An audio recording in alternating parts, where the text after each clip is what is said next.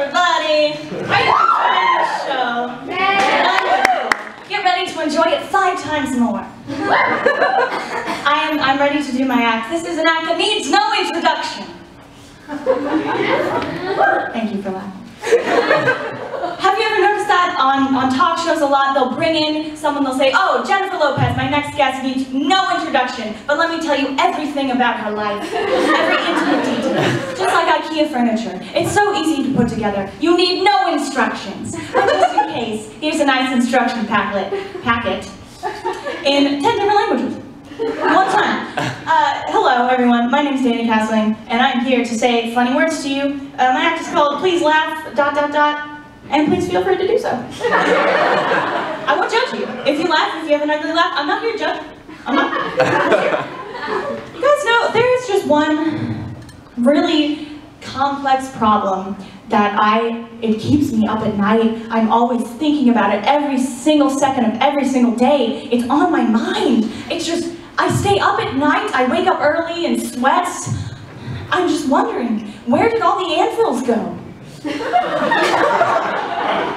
Do you know? No, no one knows. No one knows. And just one day, we were we had a surplus of anvils. Wiley e. Coyote was throwing them off bridges, throwing them off rocks, trying to get that little road runner, and now they're all gone. Did one coyote use up every single anvil in the world? Did Acme go out of business when the Wiley e. Coyote went off the air? Did he ever catch that road runner? It's just, it's one of life's great mysteries that we will literally never know the answer to. That's sad, I know. So, um, I've been reading the news a lot lately, as, as you should be informed. Read the news. Or not, I'm not here to judge. but, if you have noticed, a, a, in a lot of places, crime rates have steadily been going down. Wonderful! Like, what a beautiful society we live in. And it just, it just makes me think, crime rate going down? Or are we just getting better at murdering people? it's, a, it's a good question. I mean, with shows like Law and Order, CSI, Bones, it teaches you everything not to do. I know that if I kill someone with a shovel, I can't just wipe it off. They're still gonna know. They're gonna know there's blood there. They're gonna know. I know that now. I know every mistake. Like on Bones. There's one episode of Bones where a guy dies because of a potassium overdose. You can't trace that. There's no test that can trace that. It, it just looks like, oh, one day he ate a banana and whoops, died. like, look to your left. That person's probably a murderer. Nine times out of ten, they are serial killer. But you know, kudos to you serial killers out there because you're doing a great job, you know? Really, really honing your skills. I'm very proud of you.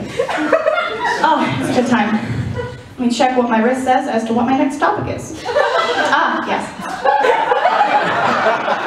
I know, I'm so professional. You guys thought you were going to see some little girls who stand up and it's the next, the next Louis C.K. in front of you. What a surprise. Have you guys ever noticed how you can play God with plants?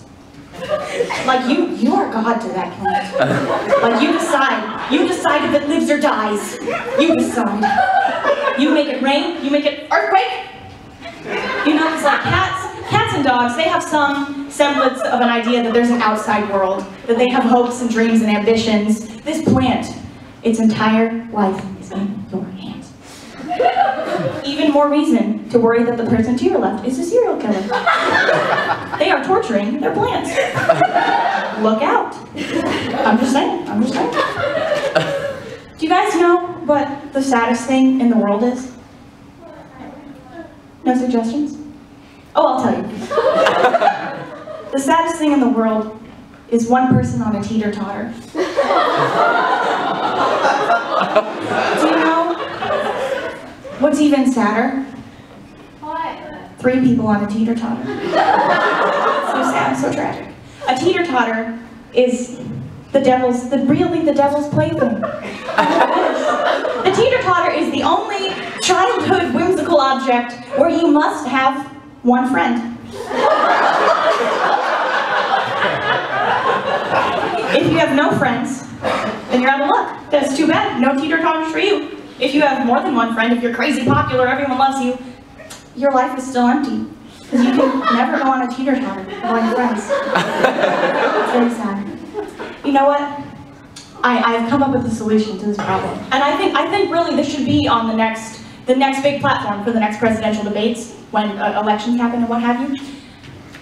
I think they need to outlaw teeter-totters. They really do. They're just bringing us all down. And then you know what we need to do to fix this economy, to bring this nation back? We need to replace the teeter-totters, I can't speak today. We need to replace the teeter-totters with anvils. I fixed America. You're welcome. Thank you guys. Let's go